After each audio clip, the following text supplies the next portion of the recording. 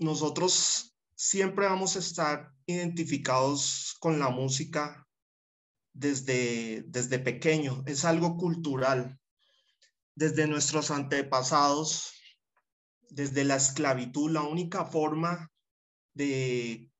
de demostrar lo que, lo que estas personas sentían, ya que no podían opinar, no podían hablar, en su tiempo de esparcimiento lo hacían era con la música, con su baile,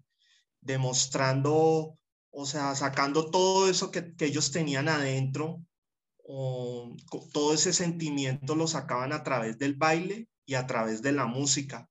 Era una forma de ellos de demostrar un grito de independencia, era una forma de decir, nosotros estamos acá,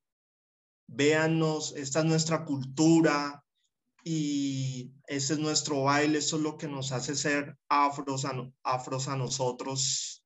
y es, es la parte que nos queda a nosotros como cultura afrodescendiente.